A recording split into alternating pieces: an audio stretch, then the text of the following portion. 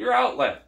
Okay? Pretty common in the US. It's 120 volt. I think it's a 60 hertz, something like that. Basically, it's the frequency of the AC waveform. Now, your common US outlet, it's got a cold, which is the return your hot, which is the supply essentially. That's the direction of the current movement. And then we've got an earth ground.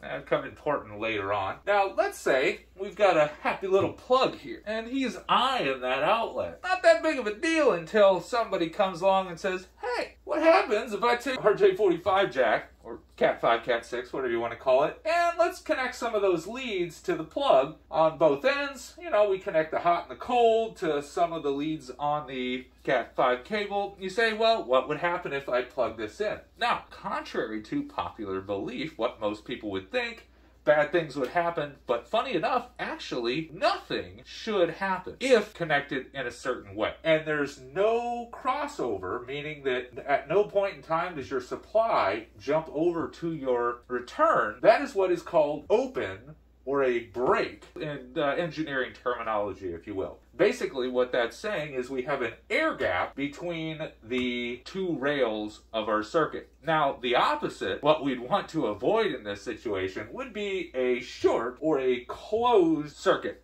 essentially there's a closed gap, meaning it's a direct connection. Very simply put, if Mr. Plug is plugged into the outlet and connected to a Cat5 cable, and it's done in a way where there is a break between the supply and the return, nothing will happen. Unless you decide to take said RJ45 plug and plug that into an RJ45 jack, which then runs back to a switch, and you're going to have some magic smoke. Now, the reason why is because that switch is designed to run at about about 1.2 to 5 volt DC, and suddenly you've now injected 120 volt AC into a RJ45 port on the switch via the Cat5 cable. So either one of two things is going to happen. Probably all the capacitors or the inline caps that are sitting right inside that jack are going to just explode in magic smoke, or it'll dead short. This little Cat5 cable in the wall is going to heat up like a filament in a light bulb, and you're going to have some really exciting wall art there. In general, this is actually not as big of a danger as you might think because most of the time, what would actually happen if we did indeed have a short in the way this was connected, the moment that this plug